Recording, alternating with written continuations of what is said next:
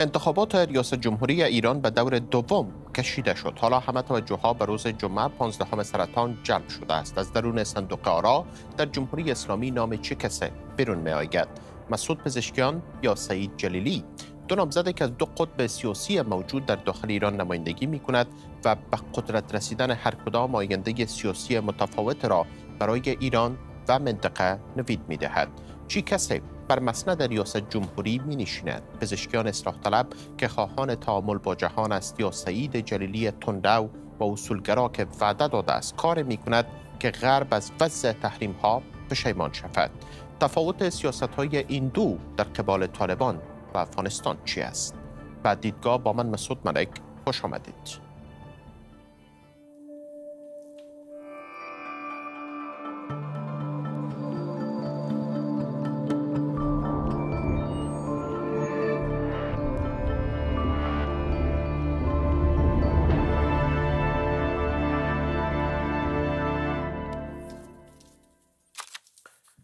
بر شما. مهمانان من در این برنامه دیدگاه. آقایان دکتر مهدی خزالی دبیر کل جبهه آزادی از تهران و مین گونه پیمان عارف تحلیلگر روابط بین الملل از لندن هستند و آقای خزالی هم تا لحظات بعد در برنامه با ما همراه خواهند شد. جناب عارف وقت شما بخیر. سپاس برسیم که در دیدگاه با من هستید. دانشنونه که در آغاز برنامه ما گفتم انتخابات ایران برای نکته حساس رسیده و قرار است که دور دوم انتخابات برگزار شود میان سعید جلیلی و مسعود پزشکیان.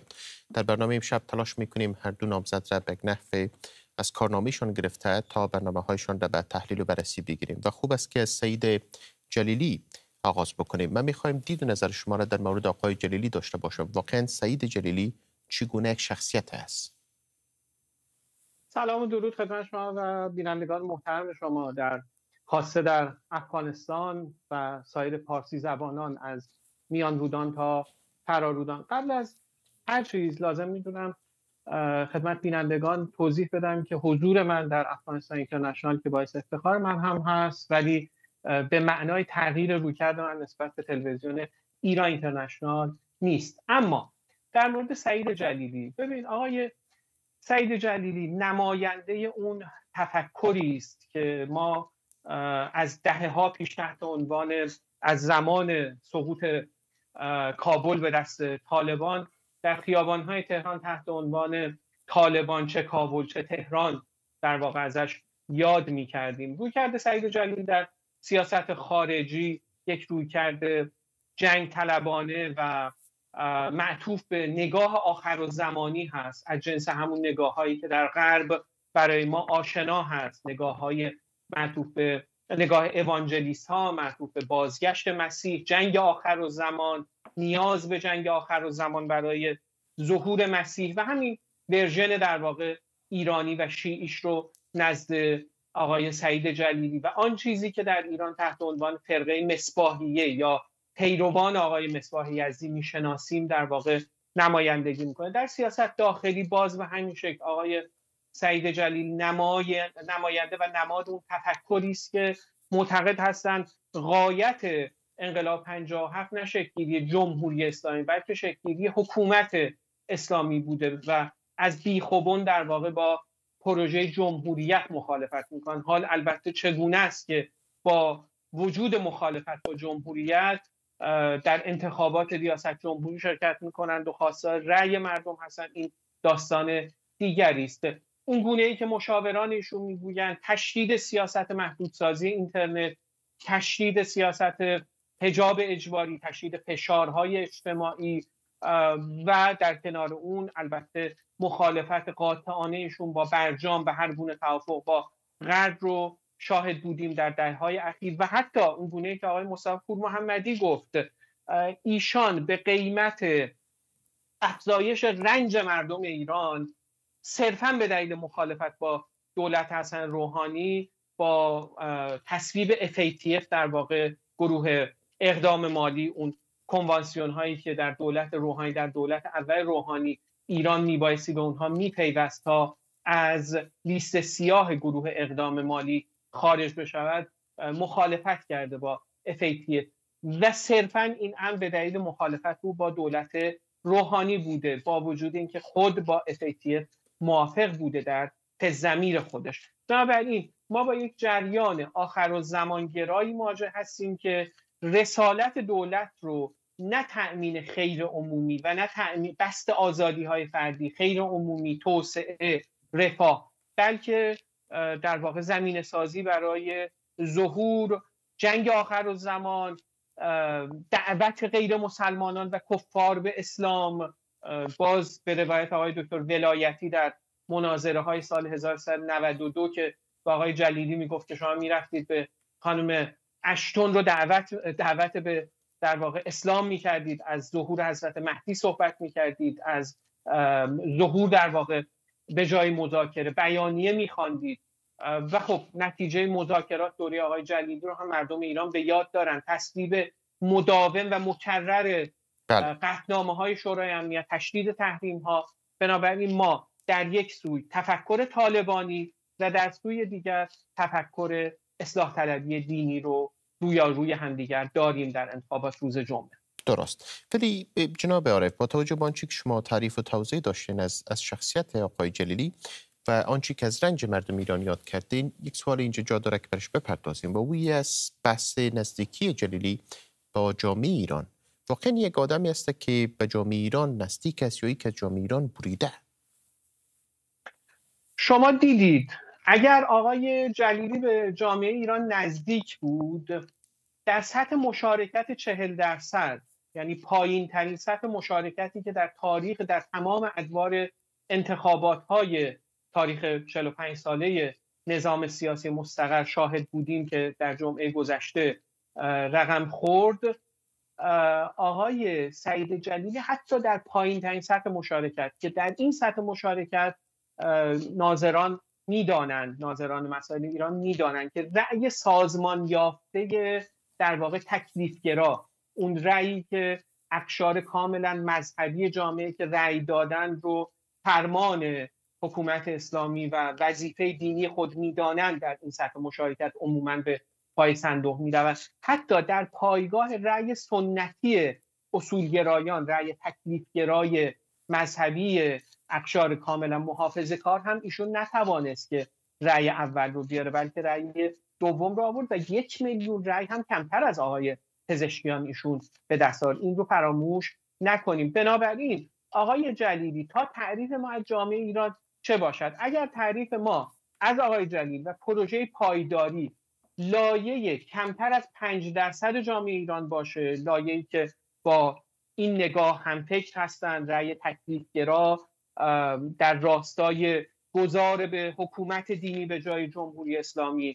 خب قصه دیگری است. اما اگر مبنای ما ده و نیم میلیون رأی شهروندان بله. باشد که علیرغم تحریم 60 درصد شهروندان ایران 60 درصدی که رأی ندادن ده و نیم میلیونی که رأی دادن به آقای دکتر پزشکیان رأی دادن بنابراین پر واضح هست که نگاه گفتار پاک دستی فساد ستیزی و صمیمیتی که در گفتار آقای دکتر پزشکیان هست به دل شهروندان نه مثلا سکولار یا مطالبات طبقه متوسط شهری بلکه در حد همین سطح مشارکت شاید درصد که از کردم چه پایگاه رأی به پای صندوق می رود هم در همین در واقع پایگاه رأی هم گفتار پزشکیان به دل مردم نشسته و احساس قرابت بیشتری مردم با پزشکیان کردن درست. ولی در طرف دیگه بحث وابستگی هاست. واضح است که هر کی نامزد میشه در انتخابات های ریاست جمهوری در ایران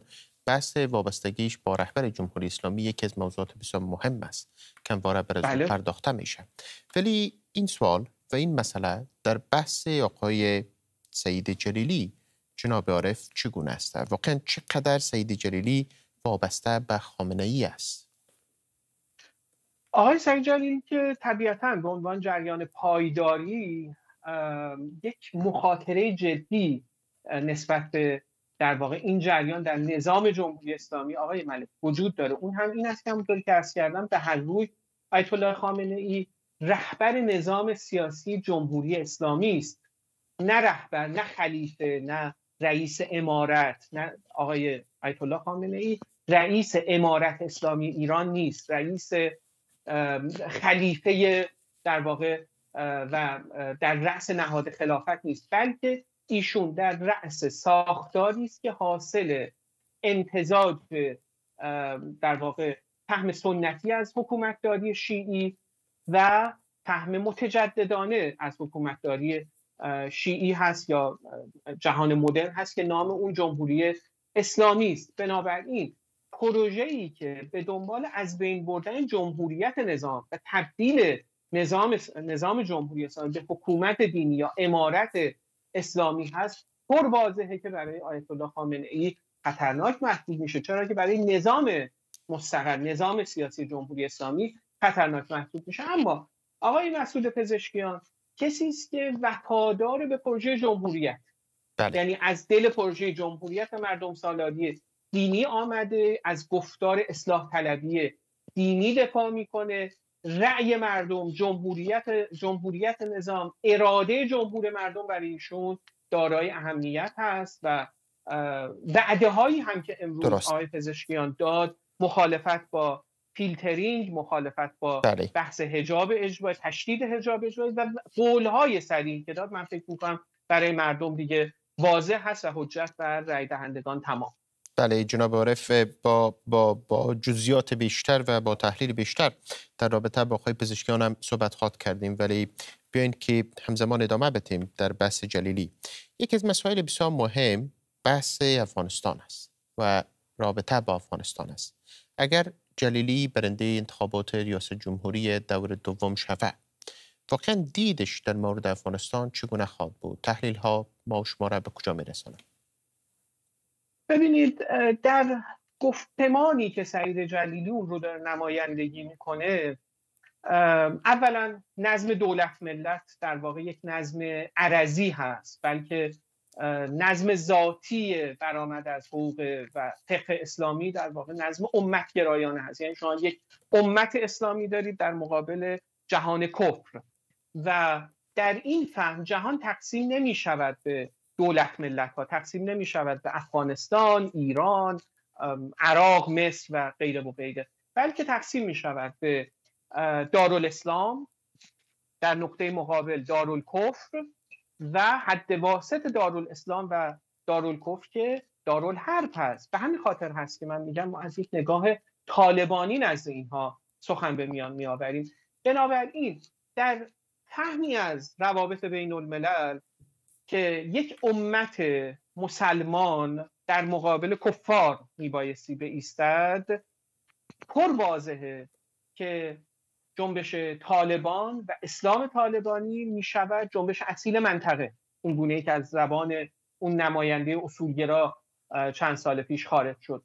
اما آقای جلیلی در کنار این به نظر می رسد با توجه به روی کرده وابستگی به شرق و پروژه شرق گرایی فزاینده که نزد این جریان پایداری ما سراغ داریم و باز نگاهی که بلوک شرق نسبت به طالبان و استفاده از طالبان برای مقابله با نفوذ غرب در و به طور ویژه آمریکا در افغانستان داشتن باز این هم عامل دیگری است که گفتار پایداری رو نزدیک می‌کنه به طالبان.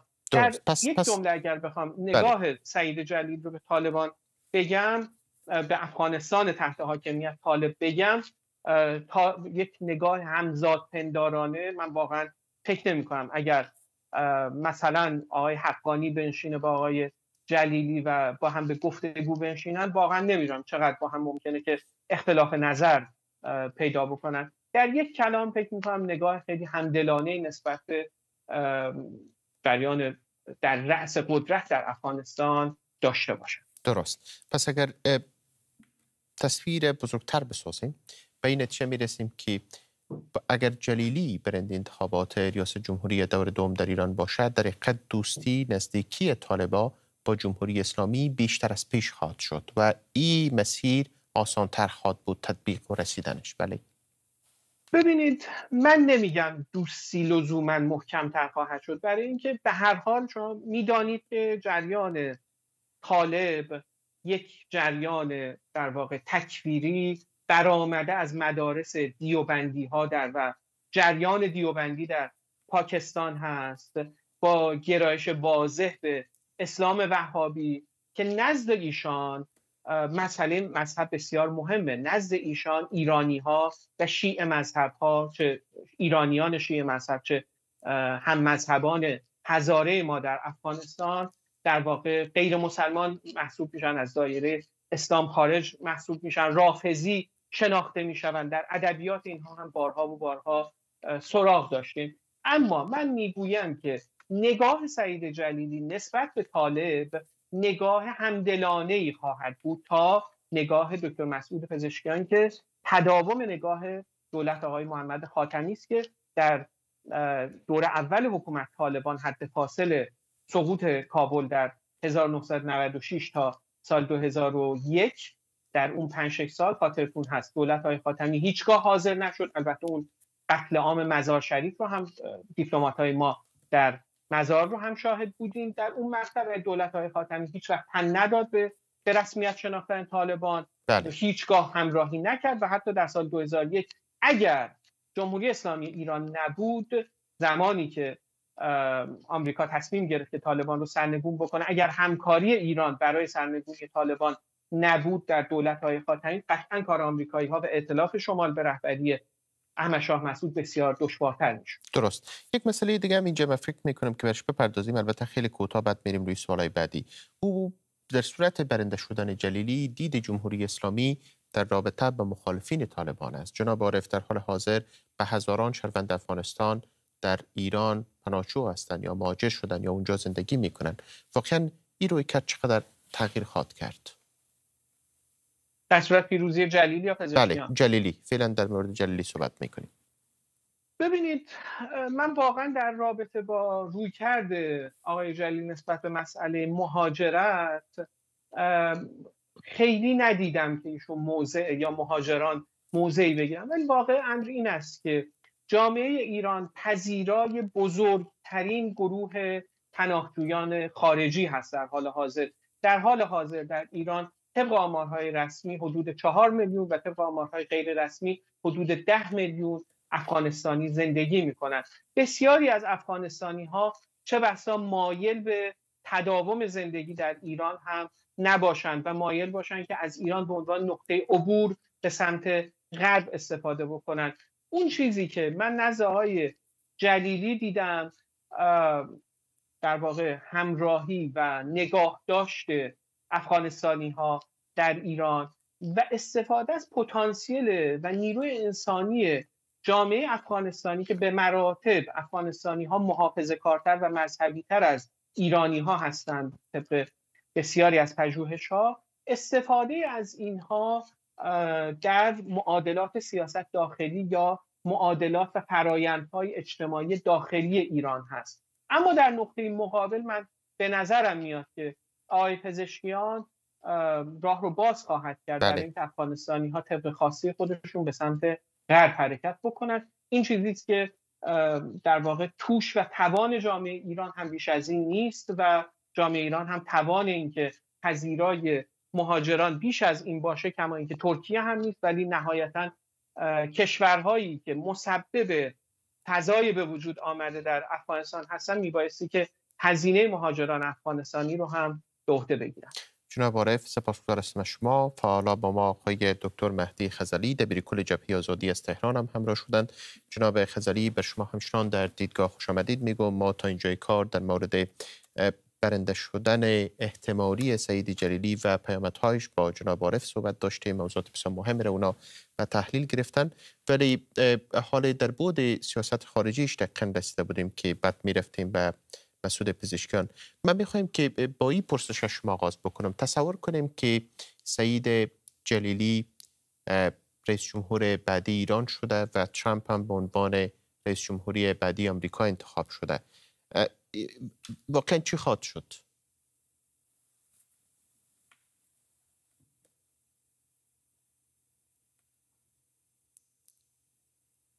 جناب خزلی من صدای شما نمیشنوم همکارایم هم نمی‌دانم که اگر مایک بله. خدا بله آله میشنویم بفرمایید. میکروفون من بسته با سلام خدمت شما و میهمان عزیزتون جناب آقای عارف و بینندگان عزیز که مخاطب ما طبیعتا دو ملت ایران و افغانستانه که با پیشینه تاریخی عمیق و پیوند عمیقی که این دو با هم دارند و من فکر می کنم تاثیر انتخابات در ایران خیلی بر روی شهروندان افغانستان به واسطه اینکه به تعبیری سلس جمعیت افغانستان در ایران میهمان ما هستن به تعبیری 13 میلیون یک مسئول میگه یک مسئول 8 میلیون میگه و اونی که آمارهای غلط رسمی هست همین حدود 4 میلیون شهروند افغانستانی میهمان هستند و طبیعتا من می‌خوام بگم تا اینجای کار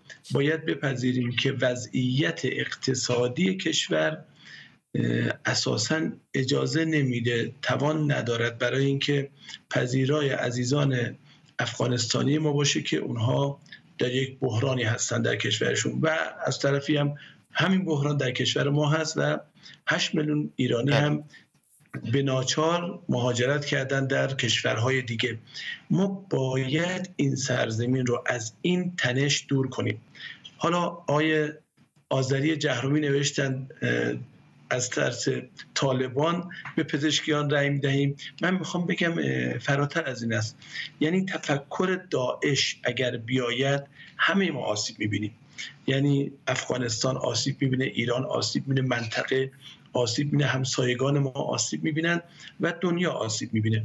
و اگر الان مردم با تمام اکت هایی که داشتن کسانی که در واقع اومدن قهر کردن به عنوان یک اعتراض تحریم رو انتخاب کردن الان موقعش نیست. الان موقعی که بتوانیم تاثیر جدی بذاریم و بازی رو عوض کنیم و شده نیست. الان قبل از انتخابات آمریکا هم هست. اگر ما اینجا یک بله. فرد عاقل اقلانیت رو به جای جهل بجرونیم اونجا جهل مرکبه.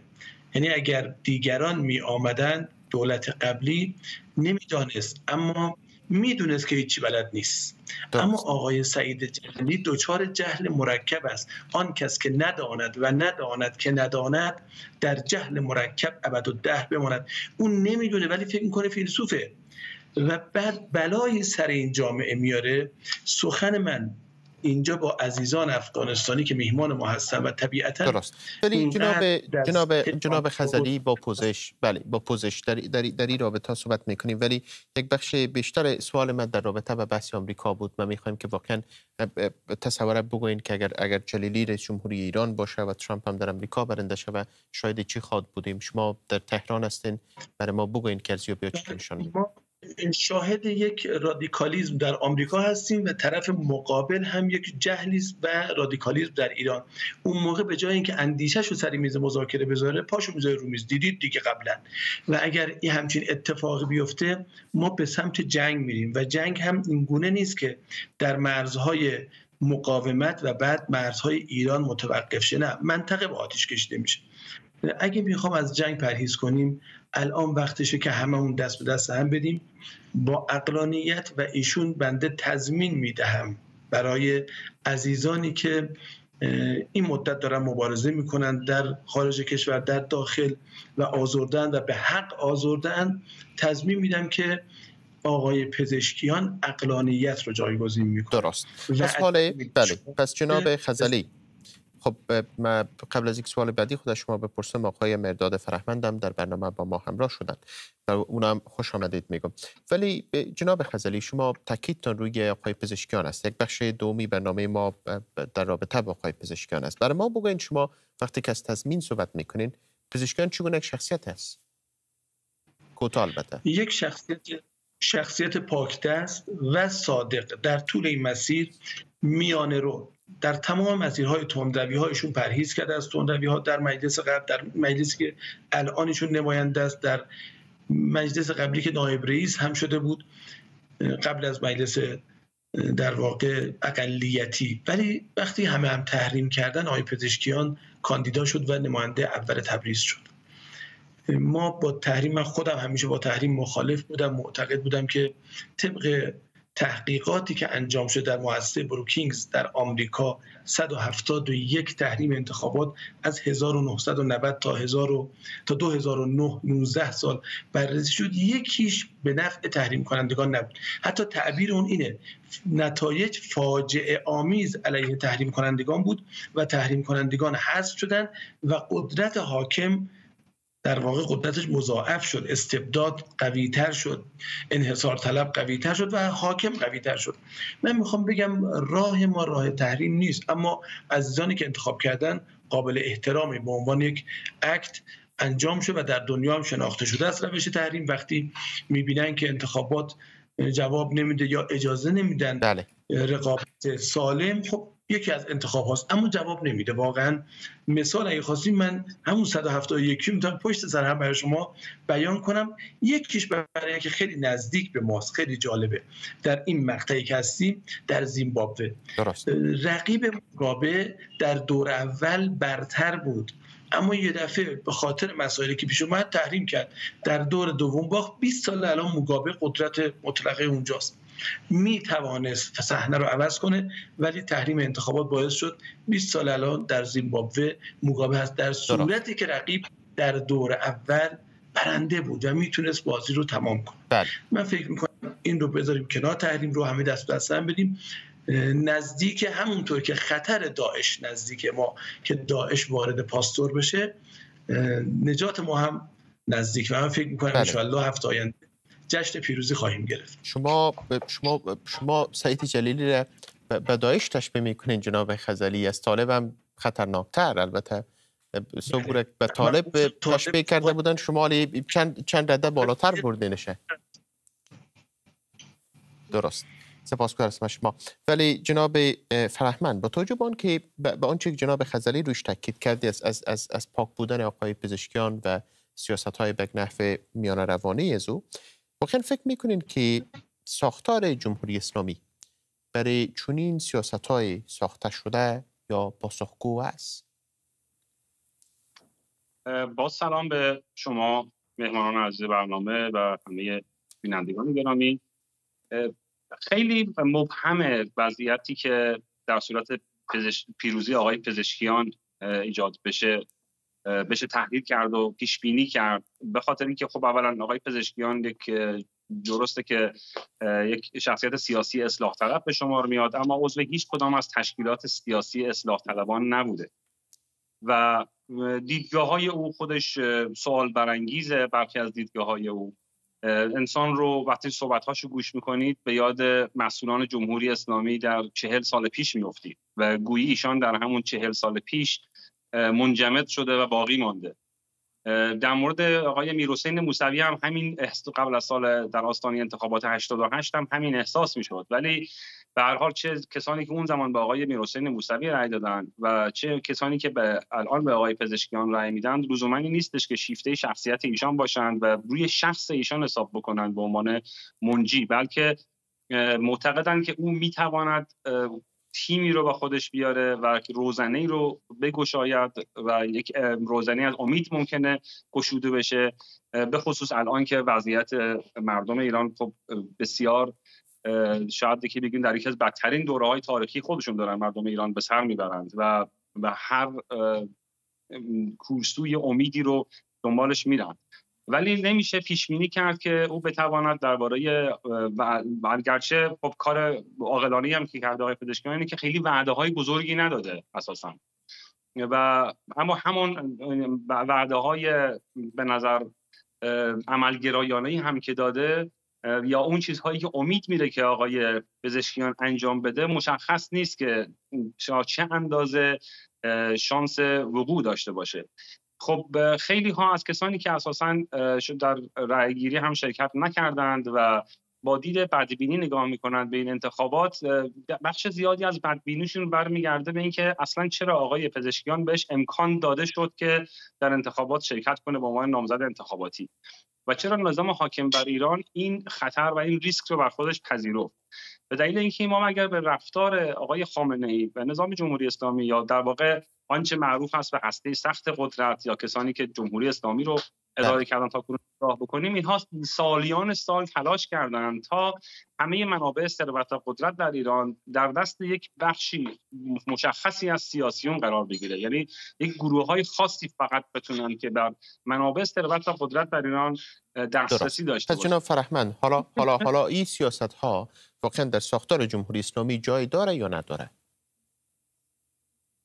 من متوجه نشدم منظورتون چه بله. سیاست هایی همون که بیشتر جناب خزلی گفت در مورد پزشکیان که خب یک آدم میانه رو سیاست هایش فرق می‌کنه با جلیلی بسیار تفاوت داره. پس مردم هم برش رای داده مردم هم امید بسته. حالا همین اینا اگر در نظر بگیریم در ساختار جمهوری اسلامی واقعا می‌تونه عملی بسازه یا نسازه با توجه به اون چی که خود شما هم گفتین وعدای بسیار کلان نداده. من واسه متاسفانه صحبت های آقای خزلی رو بخش زیادیش رو نتونستم بشنوم ولی اون بخشی که شنیدم و ایشون به پادکستی آقای جلیلی اشاره کردن یا نکات دیگه خب اینها آقای پزشکیان پزشکیان بله. آقای پزشکیان آقای پزشکیان آقای پزشکیان رو اگر که ما همین به عنوان یک شخصیت صادق و پاکدست هم نگاهش بکنیم یک ناسازواره ای میشه در کلیت نظام جمهوری اسلامی که اساسا صداقت و پاکدستی درش جایی نداره. یعنی اساسا گردانندگان ایران در حال حاضر افرادی هستند که آنچه ندارند پاکدستی و صداقته. سپاس. و آقای پزشکیان به عنوان یک شخصی که واجد این صفاته این یک ناسازواره ای میشه برای این نظام و این خودش یک بخشی از مشکله.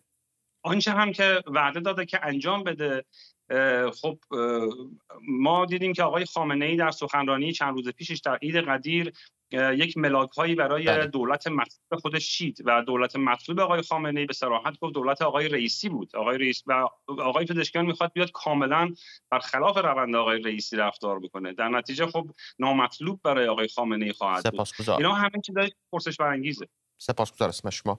ولی جناب عارف حداقل آقای پزشکیان با توجه به آنچه که در موردش گفته میشه با با می هسته های قدرت چی چی کار خواهد کرد با توجه به سیاست ها و برنامه هایی که داره؟ مثلا با بیت رهبری شورای نگهبان و خود مجلس یا می رقم نهادهای دیگه چی فکر می‌کنین شما؟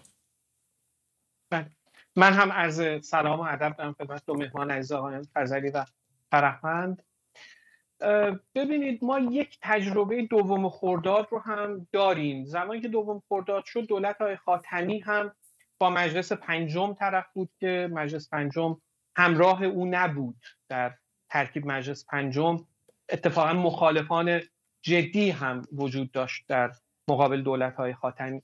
اما آقای پزشکیان من معتقدم با توجه به تجربه دولت های خاتمی و همینطور دولت آقای روحانی و انباشت تجارب اصلاح طلبان که اکنون از دوم خرداد نزدیک به سه دهه در واقع ما انباشت تجربه رو 27 سال انباشت تجربه رو شاهد هستیم. آقای پزشکیان متوجه این امر هست که در وهله اول شما برخلاف آقای خاتمی با شعار مردم سالاری و مطالبات معطوف به در واقع دموکراسی نمی‌توانید که پروژه اصلاحات رو پیش ببرید. بلکه مسئله که ما در حال حاضر باش مواجه هستیم به ویژه از عواست دهه 80 عواست دهه 80 خورشیدی با تشدید تحریم ها مسئله در واقع چیزی که حسن روحانی ازش تحت عنوان کاسبی تحریم و کاسبان تحریم یاد می‌کرد. کاسبی انزوای ایران در سیاست خارجی تحریم کاسبی تحریم ثروت های بادآورده بورژوازی دولتی غارتگر تشدید اختلافات طبقاتی تشدید در واقع تبعیض طبقاتی یک جامعه هر روز بله. تبعیض آلوده تر و همه اینها منتج به یک فساد سیستماتیک آقای پزشکیان در وحده اول دوگانه اصلاح طلب اصولگرا رو تبدیل می‌کنه به دوگانه پاک دست و ناپاک دست خودش نماد پاک دستی است. کوچکترین آقای پزشکیان رو من نزدیک از زمانی که پیش از دوم خرداد در زمانی که رئیس دانشگاه علوم پزشکی تبریز بود می‌شناسم. ایشون یکی از پاک دستترین چهرهای جمهوری اسلامی هست. بله ولی ولی پیشتر جناب فرحمن گفت که پاکی و صداقت در جمهوری اسلامی جا نداره. خب به هر حال آقای فرحمن نظرشون بسیار عزیز و محترم هست. اما قطعا شما در هر ساختاری حتی در فاسدترین ساختار هم و ایجنتی که داره اکت و عملیت خودش رو در این ساختار پیش می‌بره بسیار تعیین کننده و مهم هست. شما نمی‌توانید بگویید که کنش و ایجنسی عملیت محمد خاتمی در این ساختار همانند ایجنسی مثلا محمود احمدی نژاد هست یا ابراهیم رئیسی هست یا سعید جلیلی هست. ما در همین ساختار آقای فرهمند حتما میپذیرند به واسطه اینکه من آقای فرهمند رو به در واقع صداقت و انصاف می‌شناسم. آقای فرهمند میپذیرند که در همین ساختار ما تیپای بسیار پاک دستی نظیر مهندس میر حسین موسوی هم داشتیم. تیپ های کاریکاتور موسوی در بلاز گفتمانی و بلاز رفتاری 180 درجه مغایر با موسوی رو هم داشتیم. بنابراین نقش ایجنت نقش کارگزار با فرض بله. واحد بودن ساختار بسیار دارای اهمیت هست. درست. ولی به جناب عارف ما می‌خوایم به کوتاه نظرتون بگوین لطفا. در رابطه با طالبا چی فکر می‌کنین؟ پزشکیان چگونه سیاست خواهد داشت؟ با توجه به اینکه شما تحلیلگر رابطه من, من, بله. من در, در بخش اول توضیح دادم. در دوره اول طالب در 1375 در بهار 1375 که کابل سقوط کرد تا سال 1380 به مدت پنج سال ما حاکمیت طالب رو در افغانستان داشتیم. روی کرد آقای خاتمی و دولت اصلاحات نسبت به طالب هرچه که بود یعنی حمایت از ائتلاف شمال حمایت از جنرال فهیم حمایت از امشاه مسعود و زمانی من برای شما توضیح دادم. بله. زمانی که آمریکا تصمیم گرفت بعد از 11 سپتامبر طالب رو سرنگون بکنه در افغانستان در 1180 اگر حمایت لوجستیکی و حریم هوایی ایران باز ایران به روی نیروهای ائتلاف نبود کار آمریکا برای ساقط کردن طالب بسیار دشوار می‌شد. درست. آقای پزشکیان از این سنت سیاسی داره میاد. من سخنگوی آقای پزشکیان نیستم. حدس و تحلیل و پیشبینی خودم رو صرفا می‌تونم عرض بکنم. آقای پزشکیان از این سنت میاد نه از این بله. سنت سیاسی که می‌گوید طالبان جنبش اصیل منطقه است. سپاس از شما. ولی جناب خزلی ما می‌خوایم عین پرسش در شما همچنان داشته باشم. در حالی که آقای پزشکیان تاکید کرده که یا گفته شده یا باورا هم است که وزیر خارجه ظریف خواهد بود. واقعا فکر می‌کنین که اینا چگونه یک دید در مورد افغانستان خواهند داشت و رابطه اینا با طالبات چگونه خواهد بود؟ نظر شما چی است؟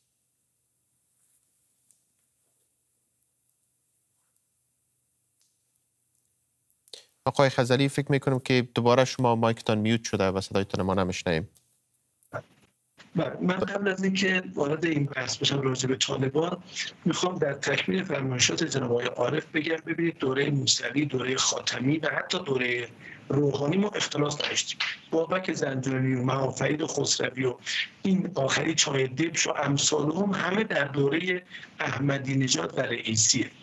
یعنی این یک دست بودن.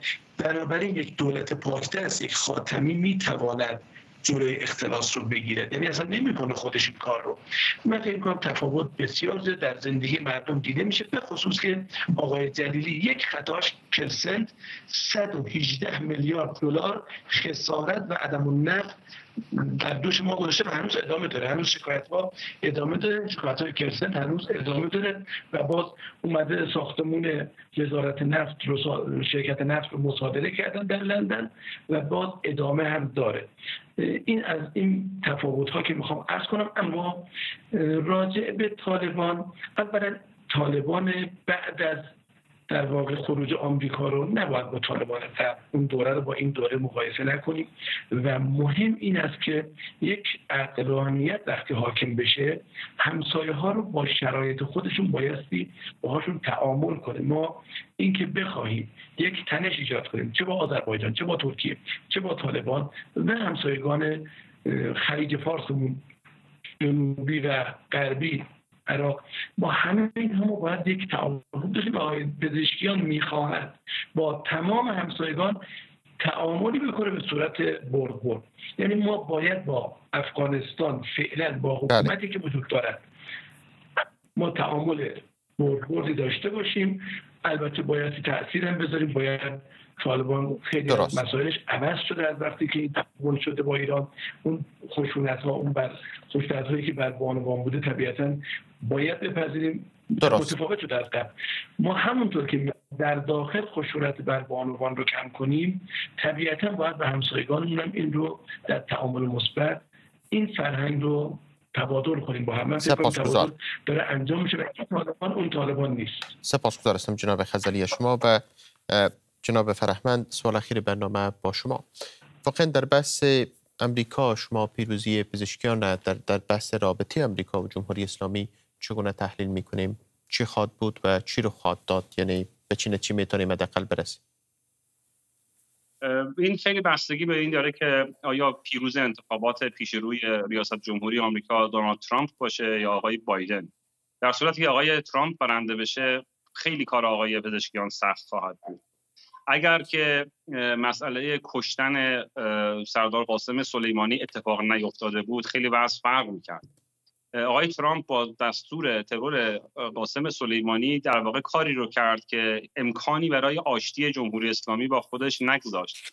یعنی اگر یک جمهوری خواه دیگری حتی تندتر از آقای ترامپ هم سر کار بیاد میشه امیدوار به این بود که به هر حال حالا ایران اصلا عقب نشینی هایی بکنه. به هر ترتیبی امکان آشتی میان ایران و آمریکا امکان اینکه بتونن دوباره با هم مذاکره بکنن مسئله برجام رو حل بکنن و مسائل دیگر این امکان بود. ولی با آمدن آقای ترامپ با توجه به اینکه از جمهور اسلامی تا و حداقل تا وقتی که آقای خامنه ای رهبری این کشور رو داره نمی‌تونه که از خون آقای سلیمانی بگذره.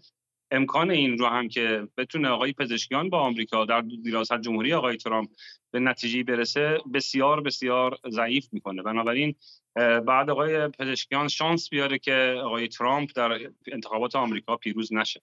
درست. پس دشواری آقای پزشکیان هم زیاد خواهد بود. کم نه کاملا دشواری زیاد خواهد بود. من فقط یک اشاره کوچیکم به موضوع افغانستان بکنم. به نظر من ایران محکوم به همزیستی با طالبان در شرایط کنونی. الان وضعیت برخلاف گفته آقای عارف الان با وضعیت با دوران آقای خاتمی اصلا قابل مقایسه بله. نیست. اون زمان امید بود که خاتم بعد قدرت های دنیا می‌خواستن الان چنین امکان دیگر نیست. سپاسگزار هستم از آقایان فرهمند عارف و خزری که در دیدگاه امشب مهمان من بودید. سپاسگزاری می‌کنم. و تا دیدار بعد خداوند نگهدارتون.